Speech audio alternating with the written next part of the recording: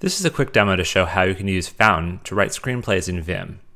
Now, if you're familiar with Vim, you're much better at it than I am probably. So I'm going to do some really basic, just opening a file and showing you what it looks like. Um, if you're really familiar with Vim, there's a whole custom libraries that are built for Fountain that can do colorization and other amazing things. I'm just going to show you the very basics here. So I'm going to open up my file. And this is it. This is a pretty classic fountain file. It has full uh, title page information um, with keys and values. It has notes, it has copyrights, it has uh, something that would go on a first page. And it's using a lot of the syntax that is sort of special to Fountain. This is a page break. This is bold. If we page through it a bit, um, you see it looks like what you kind of think. It has uh, character names are in uppercase. Anything following a character name um, is dialogue. Parentheticals here are in parentheses. So if you're an expert at Vim and you love to work in Vim, you are free to work in Vim in Fountain, and this is sort of the layout you'd use for it. Now, when it's time to bring that into Final Draft or into some other format, there's a couple options for how you can do that. So let me quit out of this.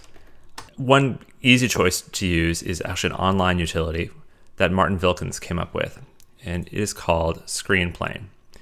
Uh, Screenplain it actually exists. It's on GitHub. You can actually download it, install it into your own system. So you could do this all from the command line. That's really kind of beyond my abilities. So I'm going to use his web interface here.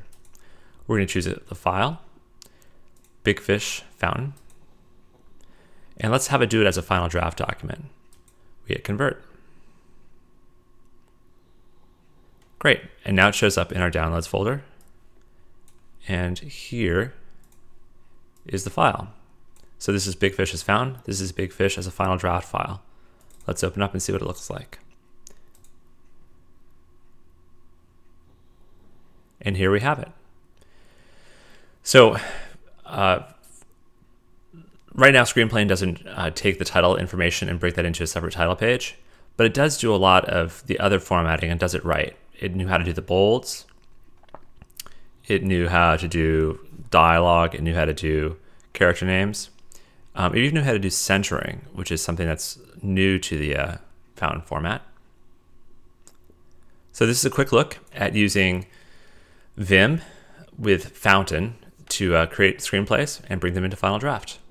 For more information about Fountain, visit Fountain.io. Thanks.